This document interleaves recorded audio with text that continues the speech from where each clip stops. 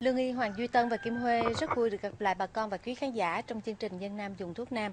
Thưa bà con, cái hoa hòe này á thì nó không chỉ là, là dùng để chữa chỉ ra máu đâu, nhưng mà cái tác dụng chính của hoa hòe nó là cầm máu được Dạ. ở trong cơ thể của con người chúng ta đặc biệt là cái phần dưới à, Dạ. thí dụ như là băng huyết rồi rong kinh rồi à, trĩ rồi đại tiện ra máu vân vân chứ không chỉ có riêng là dùng để chữa trĩ đâu Dạ. thì cái hoa hòe này cái à, tác dụng của nó đầu tiên là chúng tôi muốn nói đó là tác dụng cầm máu Dạ.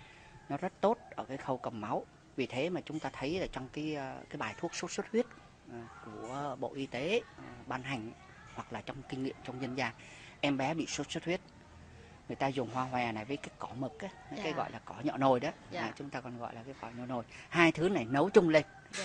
à, nó giải quyết được cái hiện tượng nó không bị ra máu Dạ. đó. còn ngoài ra chúng ta dùng những cái vị thuốc khác để cho nó hạ sốt vân vân nhưng mà riêng cái trường hợp mà tại vì sốt xuất huyết vì nó có sốt rồi do xuất huyết ra ngoài da thì để tránh cái tình trạng nó không chảy máu ra ngoài da nữa thì người ta sử dụng cái à, hoa hòe này Dạ. đó